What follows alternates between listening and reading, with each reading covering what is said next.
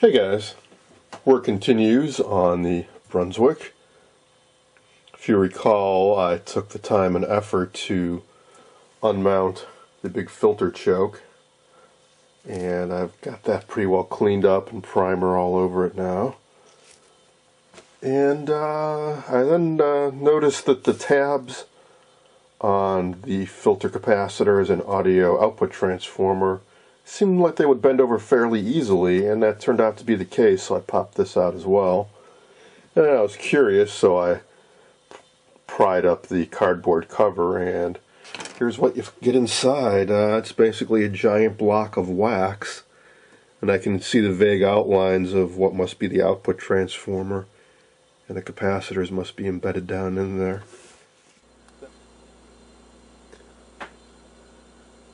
I think I misspoke earlier when I said that this box contained the audio output transformer. Actually, that's in a box on the tuner chassis. This box contains three filter caps and a filter choke. So uh, I'm actually not really concerned about breaking anything by melting the insides out. Also, these uh, the inside is potted up with uh, actually what, what seems to be a fairly low temp wax. It might just be beeswax. So it's not like melting out one of those horrible big tar blocks. This is actually quite easy to melt out. So I've already started a little bit and I'm going to keep going.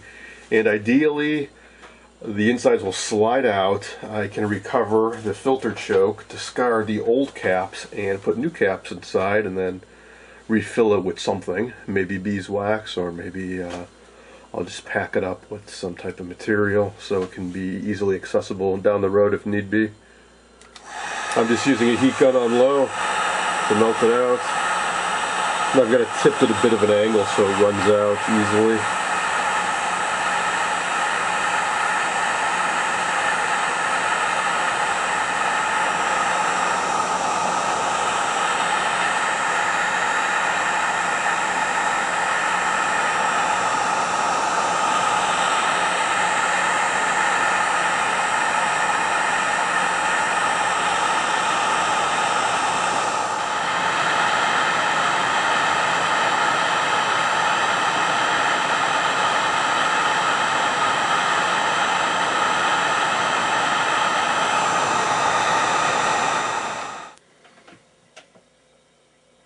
I've melted out enough of the wax now that I can see the structure pretty clearly.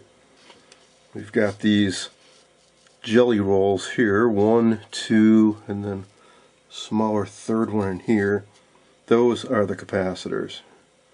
And this is the filter choke, and that's what these two wires are, going here and down here.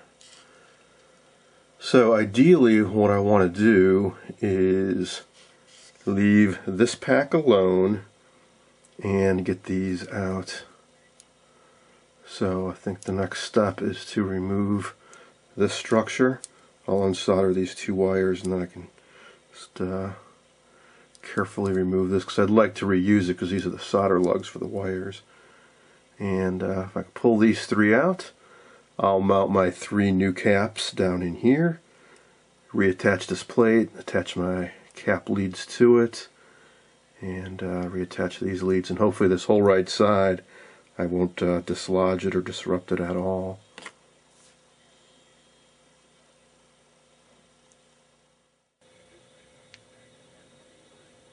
I carefully removed the lug plate and then started heating this side and drained out as much of the wax as I could and then I plunged a corkscrew into one of the capacitor sections and gradually was able to extricate it.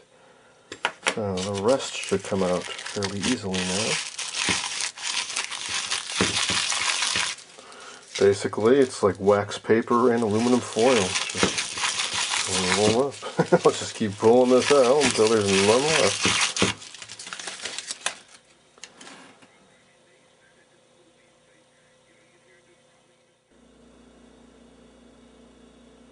With that first capacitor removed, the next two sections just fell right out, no problem.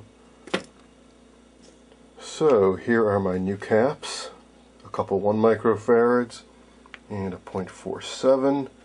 Here's the diagram of how they get wired.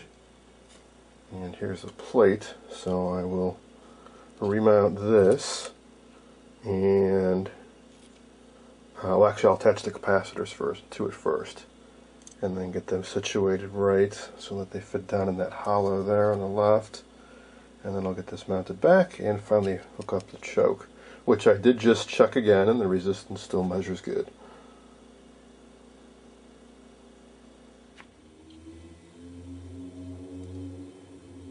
I cleaned all the remains of the old caps off of this frame and hooked up some new caps using this diagram as a guide. So there's 0.47 cap and two 1 microfarad caps with a common center lug there. Now all that's left is to fit it down into here and then hook the choke back up. One wire goes up here and one wire goes down here. And then this plate covers it all up and I'll need to crimp back down these little tabs that hold this on.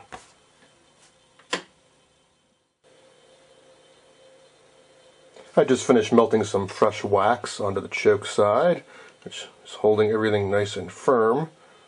So I think I can go ahead and put on the bottom plate and bend these tabs back over.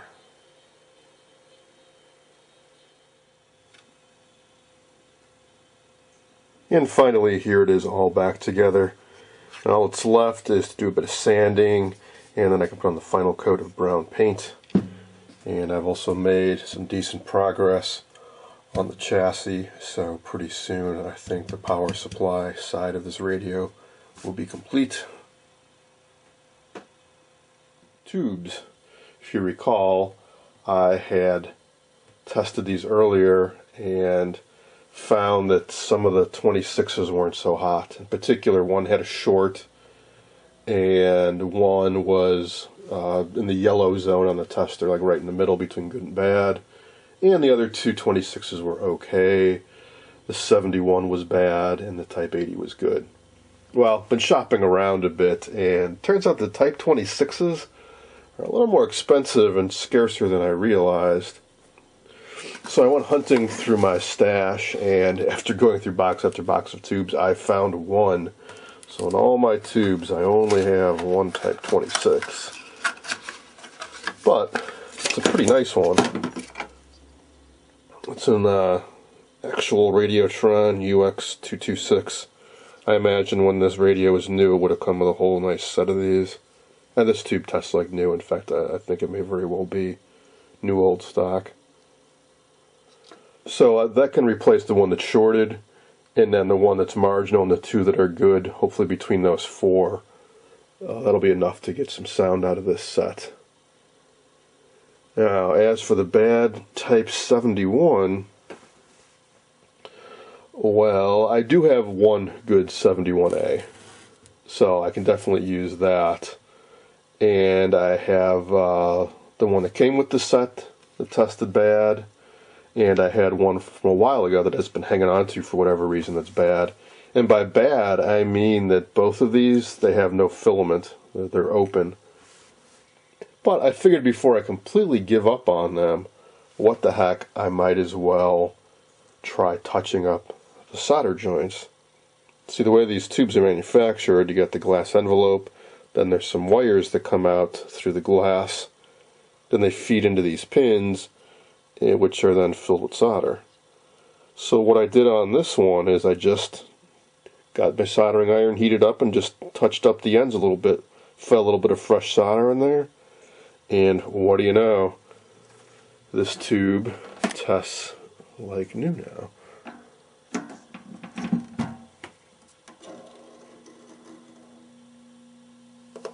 Oh, yeah, man, nice filament glow. So I was a little shocked to see that. And that, that's not the one that came with this radio. That would be this guy. Well, I went to heat up the pins on this one, and nothing was happening. And upon closer inspection, these pins are not open at the end. I've never seen that before. All the tubes I've ever messed around with, these were just cylinders, and the solder gets fed through the end up inside the tube here makes contact with the wire coming out of the glass envelope. So I thought, okay, well these just must be the end, must be more like they're cups and they must have solder that was filled in from the other side and then heated up. Um, so I tried touching up my soldering iron to the tips here just to like maybe try to remelt the solder that I presume is inside of these. Didn't have any effect.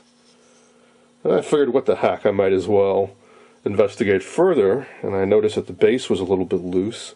So I wiggled it and it actually came right off. So these wires definitely were not making good contact with those pins. Let's see if we look down inside there.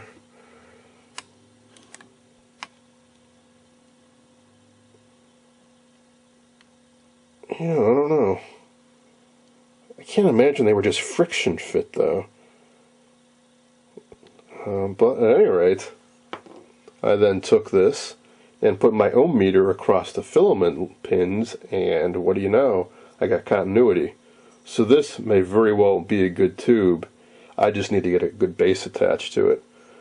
So what I'm going to do is file through the ends of these and then glue this back on and feed some solder in from this end to make sure I get good contact with these wires which I will also clean and tin before I put the base back on. So that takes care of the 71A output tube. Still wouldn't mind digging up a couple 26s. So I'll uh, just keep my eye on eBay and uh, eventually maybe one will show up. I tried the same trick on this Type 26 uh, that I got a while ago, which was the seller said was bad, but I took a chance on it anyways. And this one, uh, no matter what I'd done, uh, the filament does seem to be completely burned out on this guy.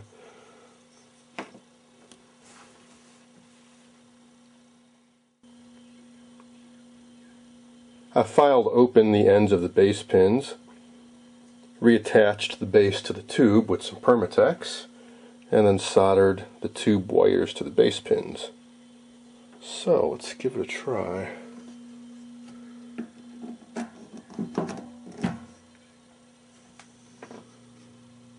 Alright, we've got filament glow. Now check for shorts. No shorts.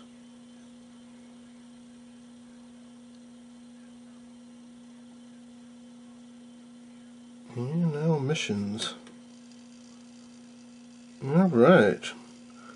I think I just resurrected another tube. That is fantastic.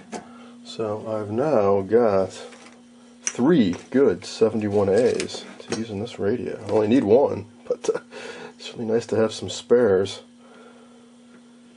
So now I'm going to go back through and check some of my other globe tubes because I've got I've been hanging on to a bunch that were duds and uh, who knows some of these others might uh, might still be good. I'll just have to uh, check the base pins like I did on these.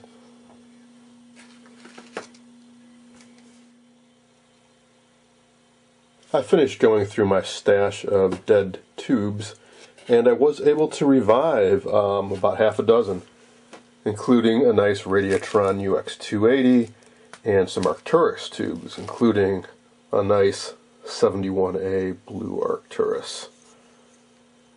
That's worth a few bucks. But uh, alas, no more Type 26s. So out of the original tubes that came with this radio, one Type 26 is dead short, can't fix it. Another one is in the weak to bad range. Two others are good, and I was able to dig up one good one out of my stash, which means I still needed to track down one more good Type 26. I was bidding on eBay for a few weeks trying to win some more of the Globe Type UX 226s but uh, they kept selling for a bit more money than I wanted to spend. So I finally had to settle on some ST Type 26s. These just arrived in the mail a little while ago. I have not tested them. So I've got my tube tester set up for 26, and let's give these a quick test. Mm. Yeah, filament is glowing. Let's check for shorts. No shorts, no shorts. And the value. Alright, so all I really needed was just one good one. Let's check the other two quickly. The seller did say that all of these had been tested and tested good. Really, you should wait for a tube to warm up a little bit longer than this, but I don't want you, guys to have to wait. Plus, these tubes do heat up pretty quickly. Later tubes, especially tubes designed for series wired sets, have filaments designed to warm up more slowly so they don't blow out when you turn on the set. But these old tubes, some of them do heat up pretty darn quickly. And these only run at 1.4 volts, so a low voltage, higher amperage, they tend to heat up real fast. Alright, the seller wasn't kidding. All three tubes test very good. Alright, so that's it for tubes. I've got a complete set of what I need. I think next up I will start taking a look at the tuner chassis.